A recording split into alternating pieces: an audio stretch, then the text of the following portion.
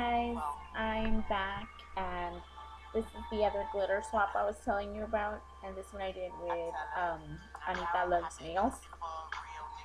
Um, the first thing is I'm going to show you, she sent me this, um, it looks blue on camera but it's actually purple, it's a purple ribbon. This one is uh, netting.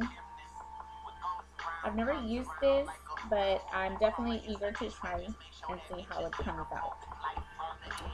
Um, she sent me some holographic sticker paper. This one is um, silver. This one is red. This one's blue. A teal one. And then she sent me some stars and some gold. And some silver.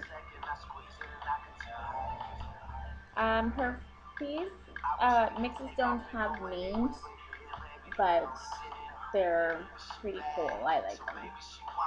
The first one I'm going to show you is kind of like a party mix. It has pretty, like a lot of everything. Um,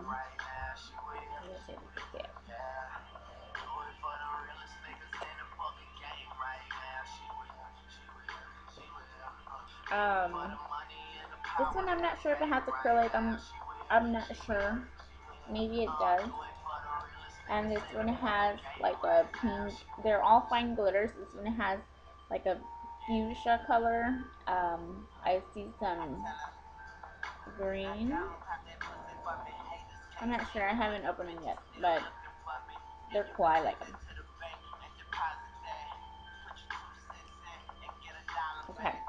This other one has um, mylar, some green tinsel, some purple tinsel.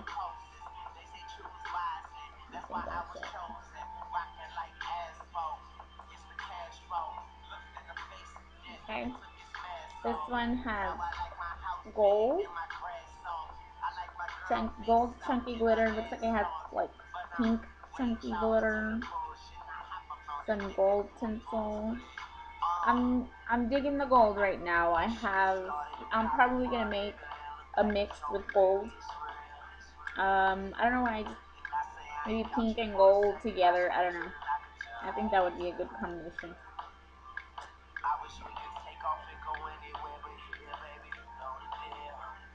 Okay she sent me some uh, purple chunky glitter, chunky, some purple chunky glitter, um,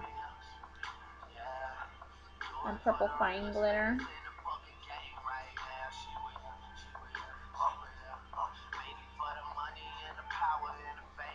And then she sent me some lace.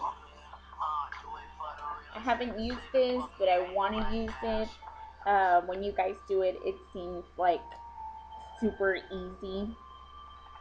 But I don't know if it's going to come out right when I do it. I hope it does. Um, if it does, I'll do a, like a little tutorial on it. And if it sucks, I'm not going to do it. Because you guys are just going to laugh at me. Um, and that's it for my little glitter swap. Um, thank you so much for watching, and I'll see you guys later.